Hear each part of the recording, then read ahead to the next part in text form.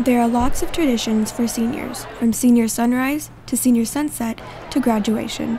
But the clock is ticking for seniors to buy some mementos from their final year of high school, as the last chance for seniors to buy the senior pass and senior t shirt is Sunday. The senior t shirt is more than just a shirt for senior Anisha Saripalli. Um, I bought the senior t-shirt because it's a really easy way to show school spirit and it, you can walk around the hallways with it and people know what year you're from. It's easy to like interact with other seniors who have the t-shirt. To buy a senior t shirt, visit the link on screen now.